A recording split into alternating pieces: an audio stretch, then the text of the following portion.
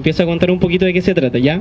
Este proyecto, como ustedes bien saben, está ubicado en el terreno que posee aproximadamente 2,2 hectáreas, ¿cierto?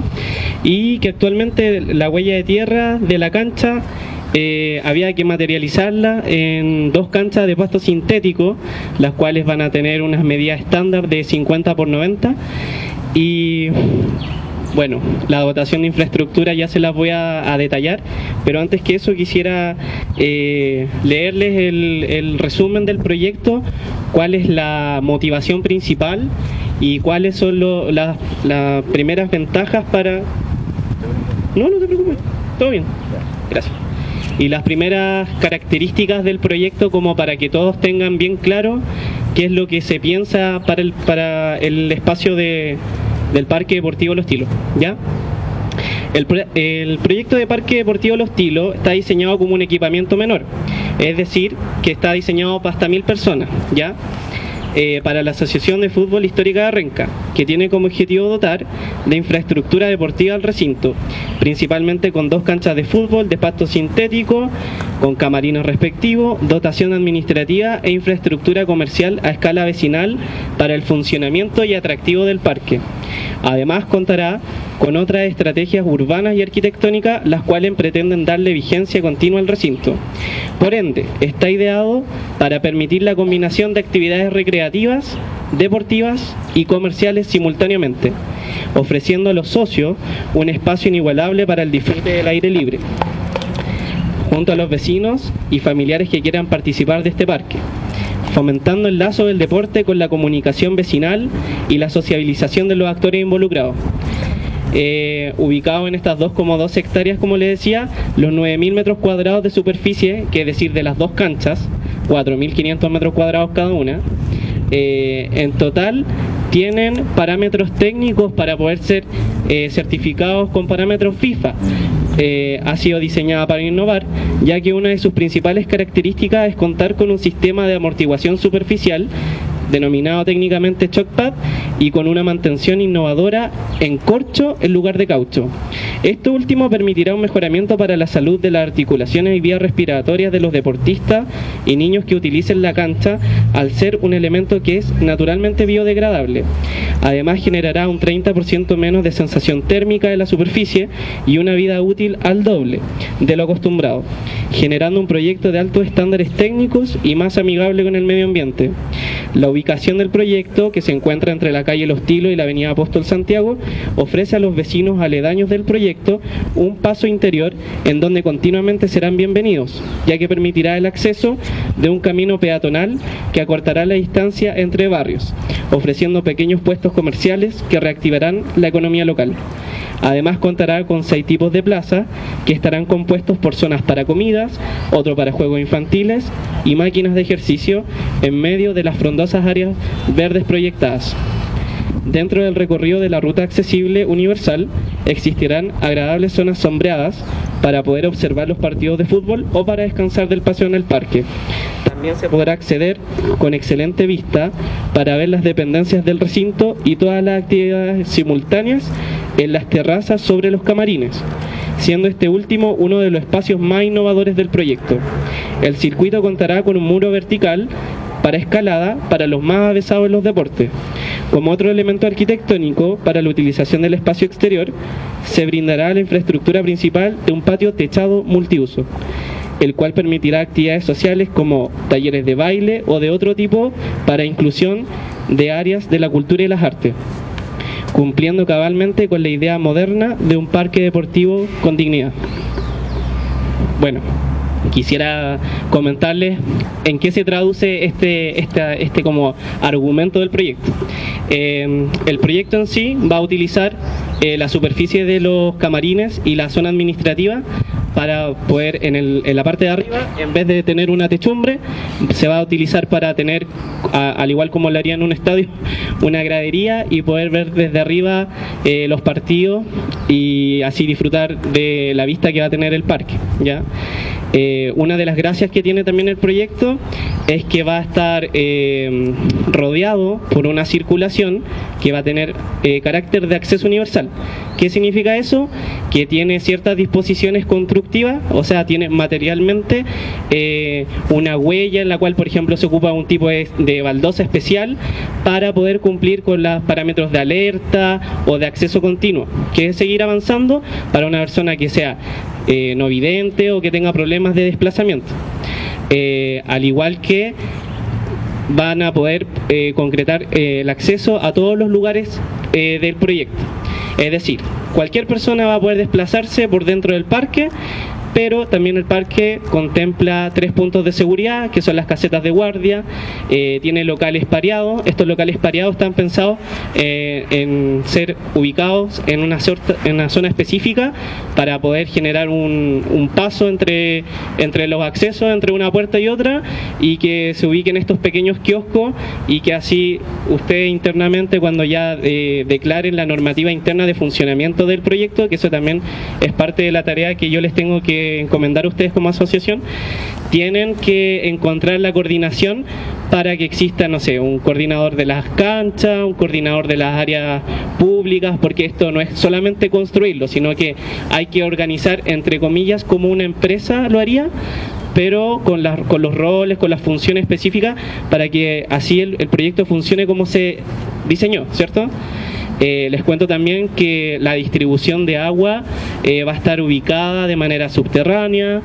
Eh, el proyecto va a contar con una dotación en el caso de que obviamente corresponda al uso, eh, si es que existe algún tipo, no sé, de emergencia, un corte de luz, debe tener sus propios generadores de electricidad, también por el tema de la carga y la capacidad que tienen los postes de iluminación, que son obviamente de 15 metros y que tienen que iluminar cuando las canchas se estén utilizando. Eh, otro de los parámetros de diseño que se consideraron para el proyecto fue considerar eh, esta, pequeña zona al otro lado con las plazas, donde van a haber juegos, eh, van a haber unos pequeños radieres, es decir, unos pavimentos, donde se van a poder ubicar cinco food trucks o carritos de comida para que en el fondo también se pueda generar esto de atraer al público y ustedes internamente también tener esa disposición de poder eh, generar una economía a escala de barrio, ¿ya? Eh, por ende, el proyecto piensa en el atractivo deportivo, en el atractivo eh, de paseo, para que el parque siempre tenga una vigencia, que siempre tenga un uso. Por otro lado, creo que con esto termino, si es que no hay más preguntas, eh, les voy a comentar algo específicamente respecto al diseño de los camarines, ¿ya? Eh, en primera instancia, se define que el uso de las camarines deberá contener cuatro recintos específicos para uso simultáneo de ambas canchas. Como hay dos canchas, hay cuatro camarines que tienen mayor capacidad. ¿ya? En esta pila de cuatro camarines también se van a ubicar dos camarines inclusivos que van a estar externos porque por temas de uso y de eh, apoyo podrá ser utilizado de manera independiente al sexo de la persona que esté utilizando el camarín o de las personas que estén ocupando los otros camarines. ¿Se entiende? Ya. Eh, por ende, se crearon estos cuatro espacios con las mismas características para que básicamente cada equipo de 11 jugadores al menos eh, tenga un espacio de entretenimiento y concentración independiente. ¿Ya? Cada camarín tendrá seis duchas, cuatro lavamanos, empotrados muebles con superficie terminación de granito, dos WC con dispositivo, etc. Además se considerará una dotación de casilleros. Para cada recinto, jugadores, camaradas, entrenadores, árbitros, entre otros.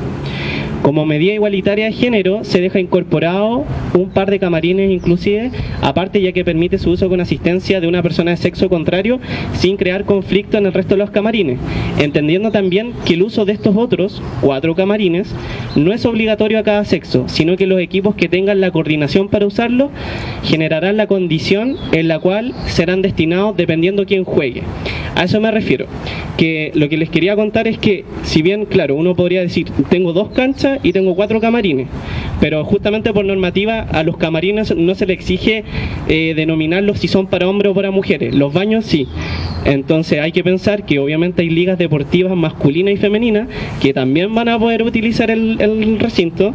Entonces por eso es importante tener un coordinador para que en el momento en que jueguen se les asignen los camarines. ¿Se entiende? ¿Sí? Bueno, eso en, específico. Respecto al tema de las superficies de corcho, si bien, claro, es una tecnología nueva y yo quise innovar con respecto a esto, eh, el caucho que al respirarlo provoca a lo largo provoca cáncer eh, en la vía respiratoria y también eh, el tema de la amortiguación igual de repente falla bastante por eso hay que hacerle mucha mantención. Entonces vi que en, a nivel de país hay tres otros estadios que ya se inauguraron con esta tecnología que es del corcho eh, esto permitirá un uso más prolongado respecto a la, a la, mantención de la superficie. Obviamente es un material nuevo, se está innovando, entonces eh, hay que considerar que mm, eh, se, debe, se debe desarrollar también en la ejecución de la obra por, eh, por especialistas. Entonces eso también es importante que ustedes sepan que no, no cualquiera les va a llegar a instalar cualquier material, sino que es un tema que aspira también a tener eh, mayores grados de profesionalismo, ya que también se puede certificar eh, por la misma FIFA para tener los parámetros al tener una, un área de juego que cumple con los parámetros profesionales. ¿ya? Eh, y bueno, en general eso, no sé si alguien tendrá alguna consulta. ¿No? Qué bueno. Démosle un aplauso al,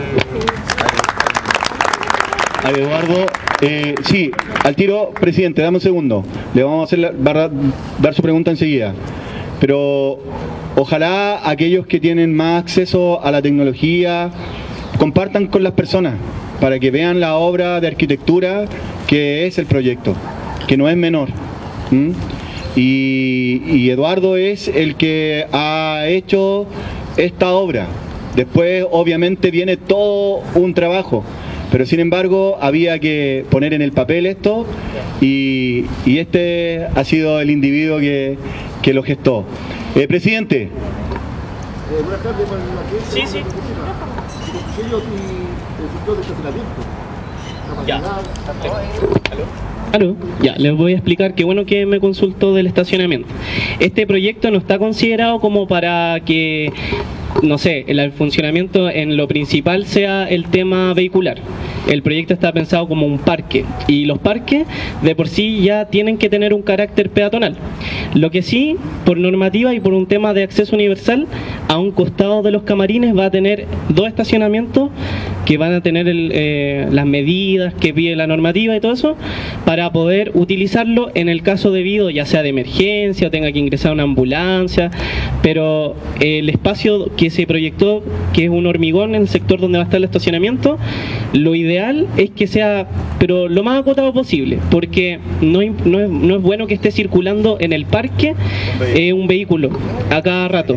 Lo que sí, yo les comento al tiro que yo tuve que diseñar alrededor de las canchas una circulación especial para que puedan eh, pasar camiones de carga o de reparación eh, para, los, para los postes de iluminación. Entonces, esos vehículos que también pesan o que a lo largo del tiempo pesen mucho, eh, van a destruir, entre comillas, un pavimento cualquiera. Entonces, este pavimento que está diseñado está reforzado con mallas ACMA, que es, como se diseña un pavimento para estacionamiento, eh, tiene las características de poder recibir autos, pero no está pensado porque un parque eh, tiene este carácter más peatonal y por seguridad, como van a ver niños, lo ideal es que cuando llegase a ingresar a cualquier auto a los estacionamientos, eso sea coordinado, vi- visado, autorizado por, por la misma administración. Y yo les cuento inmediatamente, el proyecto tiene tres accesos principales. Los dos accesos principales que están por la calle Los Tilos eh, están separados. Uno que va a tener el acceso vehicular directo y que se van a poder colocar hacia la zona de los camarines para estacionar el auto. Y el, central que va a estar como al medio de las dos canchas tiene el acceso principal peatonal con dos eh, portones grandes en los cuales eh, se va a poder completar esta circulación eh, justamente por donde pasan las plazas y hacia la calle de la avenida Apóstol Santiago va a estar el otro la otra salida peatonal que va a ser eh, de un flujo menor de, un, de un portón en sí. Pero ese es el tema con el, tema de los estacionamientos. Si bien son seis proyectados, hay 84 eh, estacionamientos para bicicletas. Ya, Eh, importante que la gente, yo sé que va a llegar mucha gente del sector y mucha gente se va a querer desplazar o estacionar o, o de cierta manera trasladar y lo, lo más importante sería que la gente sepa desde ya que va a poder llegar con su bicicleta y se va a poder eh, quedar tranquilo porque en el fondo este proyecto tiene una seguridad interior que está pensada desde ya en funcionar siempre con las tres casetas de guardia, con los tres, con los tres guardias. Entonces, hay un tema detrás, eh, la memoria descriptiva del proyecto que explica todo en cuanto a parámetros técnicos, y todo. se lo voy a compartir a Oscar para que así Oscar también se los pueda compartir a usted y puedan leer las 45 páginas tranquilamente en sus casas. ¿Ya? Eso. Gracias. Otra cosa importante, eh, Janet, Eh, me gustaría saber cuánto tiempo más o menos se va a demorar esto en, en que nos dé la aprobación en la municipalidad. Ya. Mira, el, el, el trámite en sí, el, la- el expediente del proyecto se ingresó hoy día, ¿ya? Eh, obviamente hay que esperar de parte de la dirección de obra eh, una confirmación eh, respecto al cumplimiento de todas las cosas que se solicitan. Esto corresponde a que en 15 días más ya uno debería tener el, el primer aproximamiento para que yo como el arquitecto me contacte con el revisor y el revisor me haga saber a mí cuáles son las principales observaciones. Ya, eh, bueno, yo les cuento además que el proyecto se ingresó con una revisión externa particular de arquitectos de primera categoría, los cuales yo obviamente como como profesional los contrato a ellos para que el expediente que yo estoy ingresando eh, corra más rápido. ¿ya? De por sí ya tenemos esa ventaja, que viene con un certificado y con un informe favorable. Es decir, que por parte de ellos, como revisores particulares que se tienen que a- eh, como ceñir a la ley, tienen que cumplir con informarle a la dirección de obra de que el proyecto que yo ingresé cumple con todos los parámetros normativos de la ley, que es, es la Ley General de Ordenanza y Urbanismo, y eso es así, eso ya se ingresó con ese informe favorable. Entonces, después de esos 15 días, yo voy a tener eh, un cierto periodo que va a establecer el mismo revisor para que yo pueda subsanar las observaciones, es decir, corregir las observaciones. Entonces, dependiendo de la magnitud de las observaciones, yo lo podría entregar en el plazo que ellos me soliciten o en menor tiempo Son 15 días hábiles para tener las primeras observaciones.